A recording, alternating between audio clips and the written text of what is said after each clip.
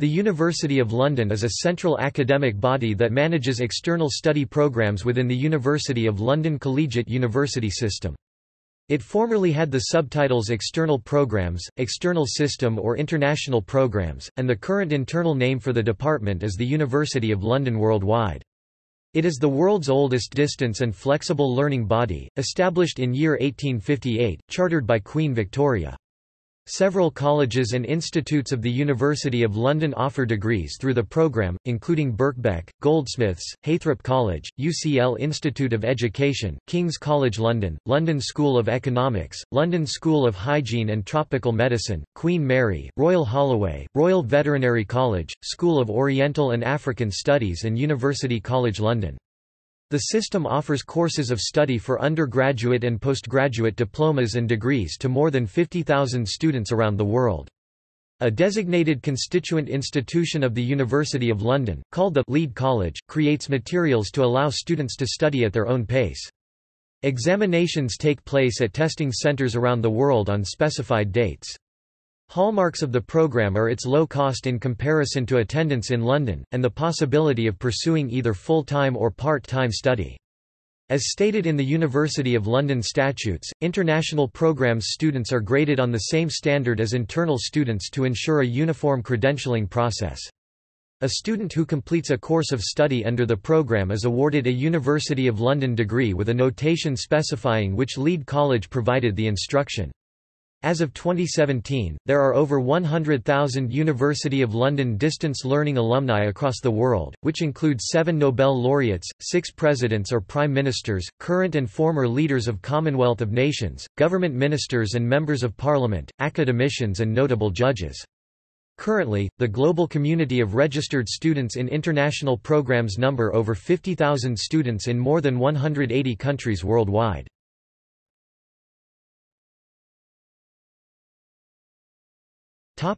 History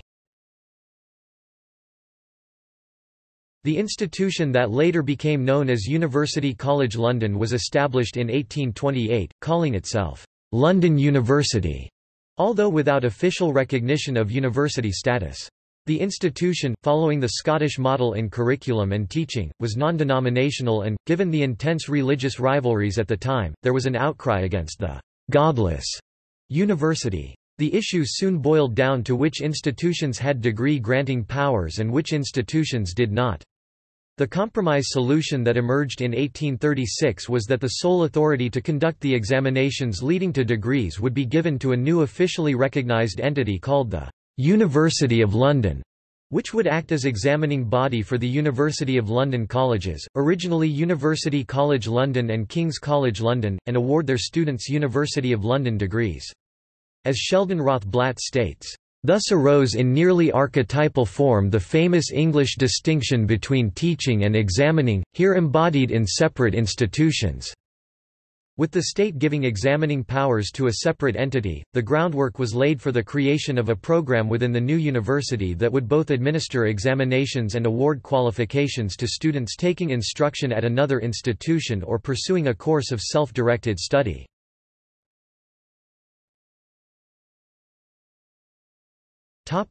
People's University and larger role The University of London was the first university to offer distance learning degrees, establishing its external programme in 1858. The external programme was chartered by Queen Victoria in 1858, making the University of London the first university to offer distance learning degrees to students.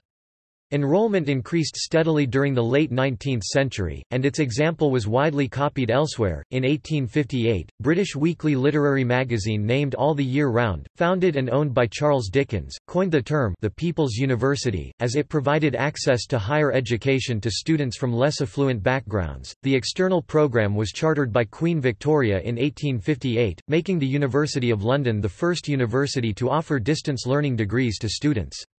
Several current degree-awarding universities started as colleges presenting candidates for University of London degrees, such as Owens College which later became part of the University of Manchester. In the mid-1860s, came the first opportunities for students to sit the university's examinations outside the UK, with centres established in Mauritius in 1864 and Gibraltar in 1866. The external system has been instrumental in the formation of British higher education. All English and Welsh universities founded between 1849 and 1949, and many other colleges that subsequently became universities, served what was a form of apprenticeship through offering London degrees by external study for comparatively short periods, before they received then royal charters that authorised them to award their own degrees. The external system also played a significant role in establishing many Commonwealth universities under a unique scheme of special relations. In 1985-6, there were 24,500 students registered for external degrees in six main subject areas.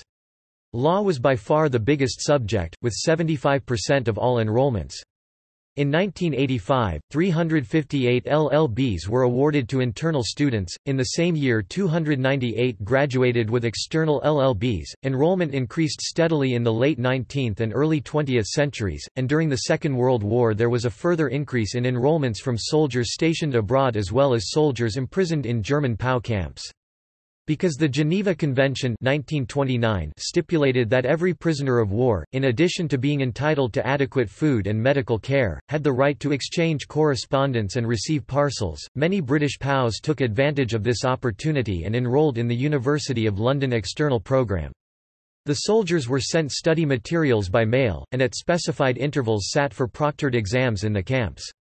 Almost 11,000 exams were taken at 88 camps between 1940 and 1945. Though the failure rate was high, substantial numbers of soldiers earned degrees while imprisoned.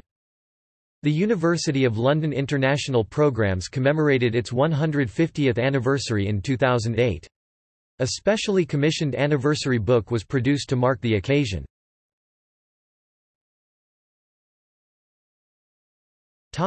Research programs and degrees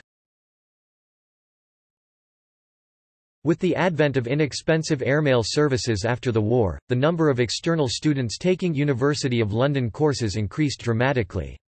According to relevant regulations, until 2000 University of London external students could pursue research leading to the award of Master of Philosophy or Doctor of Philosophy albeit the completion rate had been rather low.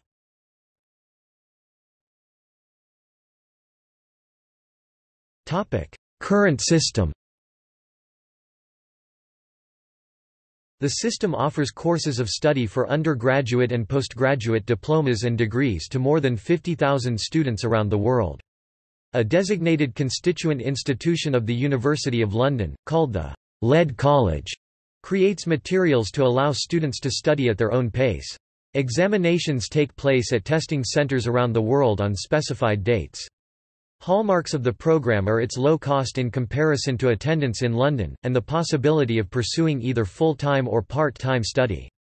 As stated in the University of London statutes, international programs students are graded on the same standard as internal students to ensure a uniform credentialing process. A student who completes a course of study under the program is awarded a University of London degree with a notation specifying which lead college provided the instruction. Students enrolled in the University of London international programs are members of the University of London. International programs students however, have very limited student representation within the university. There are also differences over the status international programs students have with respect to their lead college. Some institutions co-register their international programs students as college members e.g. SOAS, LSHTM, in addition to their status as University of London member. However, other colleges deny international programs students membership status and privileges when they are present in London e.g. LSE. Academics at the University of London are responsible for the academic direction of the international programs. When the international programs was audited in 2005 by the Quality Assurance Agency QAA, the auditors concluded that broad confidence could be placed in the university's management and the awards made through the external system broad confidence is the best verdict any institution can be given by the auditors. The confidence was once again reiterated in the QAA's 2011 institutional audit, attesting to the quality of the program provision. Most international program students are in former territories of the British Empire. There are more than 9,000 students enrolled in the program in Singapore notably the SIM Global Education, 5,000 in Hong Kong, 3,000 in Trinidad and Tobago, 2,000 in Malaysia, 1,900 in Pakistan, 1,200 in Bangladesh, 800 in Sri Lanka, 1,000 in Canada, between 1,000 and 1,999 in the United States, 300 in Malta, more than 200 in Australia, more than 200 in South Africa, more than 30 in New Zealand and many hundreds in India, among other countries. Furthermore, there are around 1,000 students in Russia participating in this program.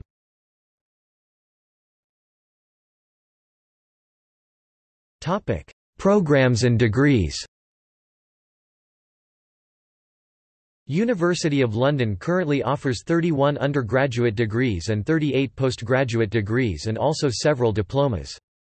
All degrees are created, monitored and examined by the colleges of the University of London.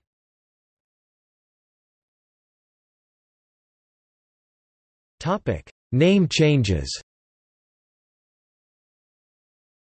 In November 2007, the University of London External Programme became known as the University of London External System.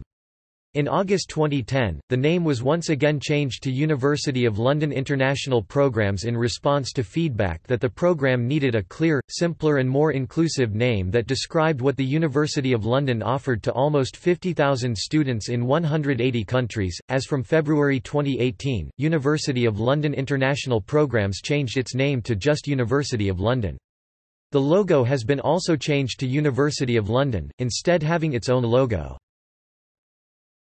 Topic participating colleges and institutes of the University of London Birkbeck Goldsmiths Heythrop College UCL Institute of Education King's College London London School of Economics London School of Hygiene and Tropical Medicine Queen Mary Royal Holloway Royal Veterinary College School of Oriental and African Studies University College London One of the lead colleges, Imperial College London, left the university in July 2007. The School of Oriental and African Studies has become the lead college for the external degrees previously led by Imperial. While Imperial offers its own Global MBA, the University of London now offers Global MBA led by Queen Mary University of London, which is accredited by Chartered Management Institute and Chartered Institute of Management Accountants.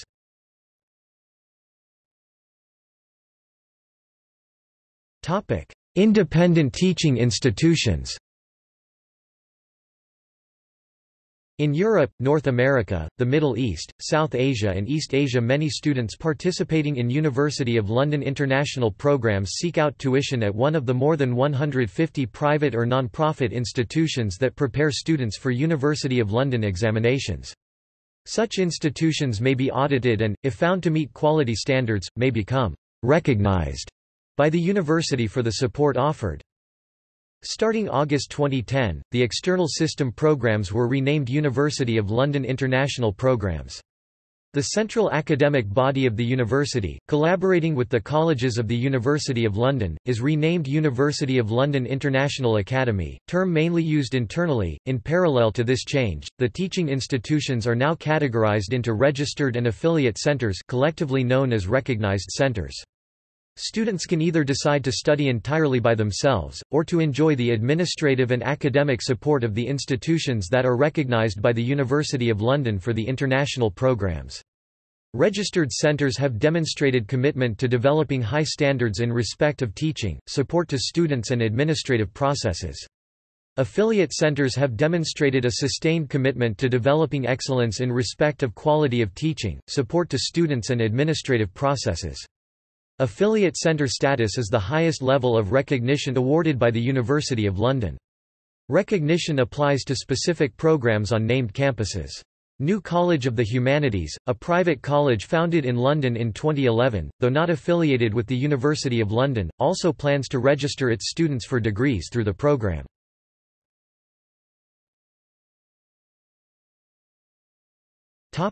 Influence The University of London external system has played an important role in the development of higher education institutions in Britain. Many leading research universities in England started out as university colleges that prepared students for external degrees of the University of London. Some technical colleges in England and Scotland also awarded University of London degrees and certificates prior to becoming polytechnics and then universities. Examples include the University of Nottingham, the University of Leicester and the University of Exeter in England, Cardiff University and Bangor University prior to joining the University of Wales and becoming independent and Robert Gordon University in Scotland. This was a common way of establishing new universities in Britain and around the British Empire during the first half of the 20th century. Many universities in the Commonwealth began as extension institutions or a provider of the program. Notable examples include Ceylon University College in Ceylon, University College Ibadan now the University of Ibadan in Nigeria, the former University of East Africa's three constituent institutions and the University of the West Indies in the Caribbean.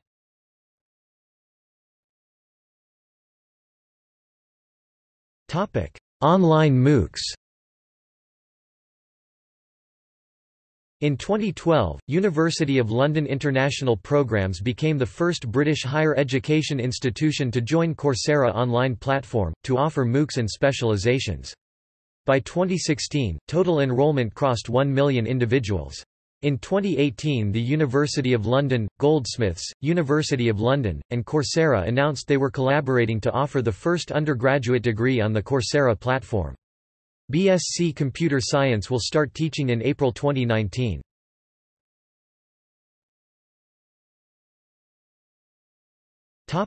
Notable alumni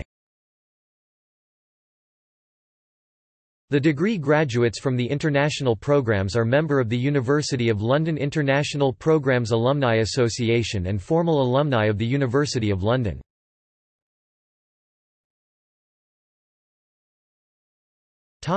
Nobel laureates At least seven Nobel Prizes have been awarded to alumni of the University of London distance learning students in external mode.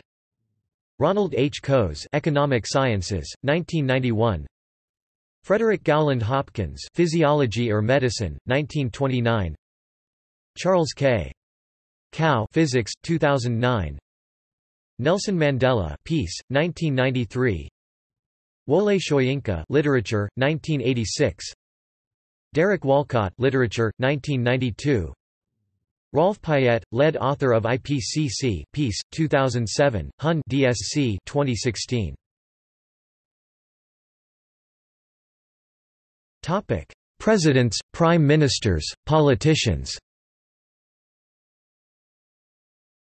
Emeka Anyaoku, 3rd Secretary-General of the Commonwealth of Nations Patricia Scotland, 6th Secretary-General of the Commonwealth of Nations Sir Oliver Goonetilleke, 3rd Governor-General of Ceylon A.N.R. Robinson, 3rd President of Trinidad and Tobago and 3rd Prime Minister of Trinidad and Tobago Luisa Diogo, 3rd Prime Minister of Mozambique Thabo Mbeki, 2nd President of South Africa Robert Mugabe, 2nd President of Zimbabwe and 1st Prime Minister of Zimbabwe J. R. Jayewardene, 2nd President of Sri Lanka and 7th Prime Minister of Sri Lanka Maria Tam, Deputy of Hong Kong to National People's Congress Dipu Moni, first woman to become Foreign Minister of Bangladesh Fred Mulley, UK Secretary of State for Defence David Knox, former Member of Parliament for Leek, Staffordshire Gisela Stuart, Member of Parliament for Birmingham Edgbaston. Paul Pierce, Member of Parliament, Australia. Varun Gandhi, Member of Parliament, Lok Sabha from India. Frank Hansford Miller, English politician and author. Alvan Ikoku, Nigerian politician. Charles Muguda Kajej, Member of Parliament, Tanzania. N.M. Perera, Sri Lankan politician Eleni Mavrou, Minister of Interior of the Republic of Cyprus. Topic: Military, civil servants and diplomats Hamilton Amarasinghe, 31st President of the United Nations General Assembly 1976. Thomas Kelly Kenny, General of the British Army Bernard Peeris, Cabinet Secretary of Sri Lanka Stephen Lam, Chief Secretary for Administration of Hong Kong. Leung Chin Man, Permanent Secretary in the Government of Hong Kong. Lee T. Sang, Ambassador of Republic of China to Iran and Thailand. Ediriweera Sarachchandra, Ambassador of Sri Lanka to France. Gunapala Malalasekera, Permanent Representative of Sri Lanka to the United Nations and Ambassador Kazunari Suzuki, Diplomat with Ministry of Foreign Affairs Japan. Patricia Varela Benzo, Human Rights Officer at Office of the United Nations High Commissioner for Human Rights. Topic: Judges and lawyers. Helena Normanton, first female barrister in the United Kingdom. Christopher Weeramantry, Judge and Vice President of the International Court of Justice. Bola Ajibola, Judge of the International Court of Justice. Meir Shamgar, former President, Chief Justice of the Israeli Supreme Court. Victor Tennekoon, 35th Chief Justice of Sri Lanka. Edward Williams, Judge of the Supreme Court of Queensland, Australia. Frederick N. Smalkin, former Chief Judge of the United States District Court for the District of Maryland. Choor Singh, Judge of the Supreme Court of Singapore. Babatunji Olowofoyeku, Attorney General of Western Region, Nigeria. Oswald Leslie de Kretser III, Judge of the Supreme Court of Ceylon. Henry Thambia, Judge of the Supreme Court of Ceylon. Andrew Chan Hing Wai, Judge of Court of First Instance Hong Kong Topic: Business. Joseph Hotung, first chairman of Hong Kong Arts Development Council and recipient of Knight Bachelor. Sharon Nakin, CEO of Seychelles Tourism Board. Nicola Vogel, Global Senior HR Director at Danfoss. Khadija Mushtaq, Executive Director of Roots School System. Topic: Scientists and academics. Charles P. Snow, Rector of the University of St Andrews 1961 Asa Briggs, Chancellor of Open University 1978 Grace Alele Williams, Chancellor of University of Benin. Barnes Wallis, inventor of bouncing bomb.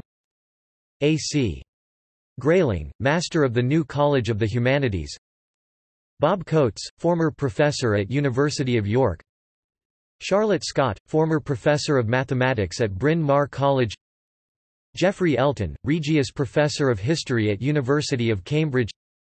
Patrick du Val, inventor of the concept of Du Val singularity in algebraic surface. Ronald Piper, professor and vice principal at the University of St Andrews Brian Lawrence Burtt, English botanist.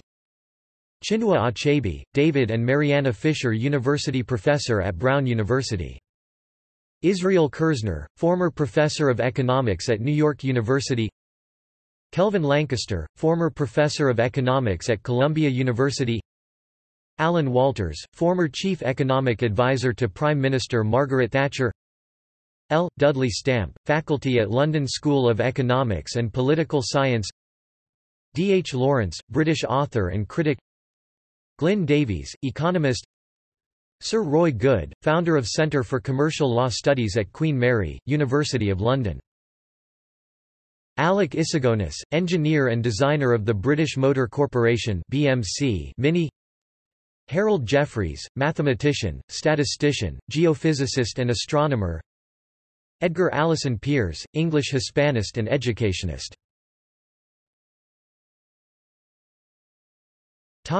Actors and actress.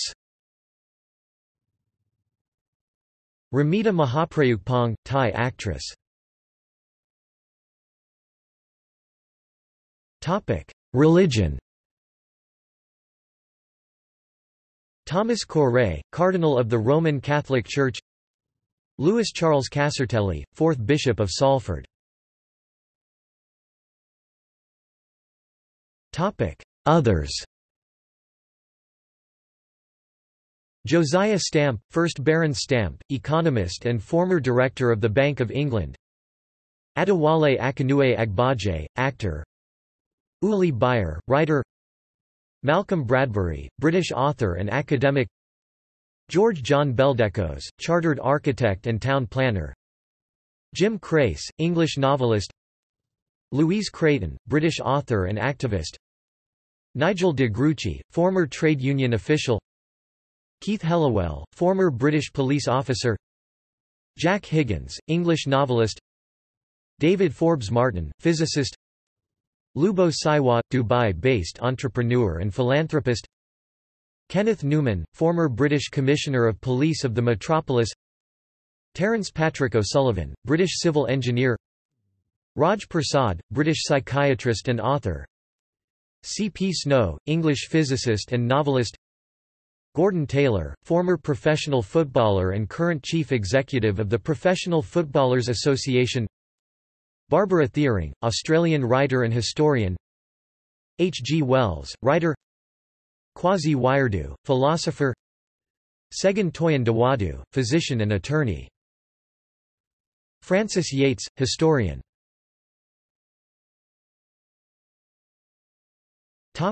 Notable faculty T.S. Eliot.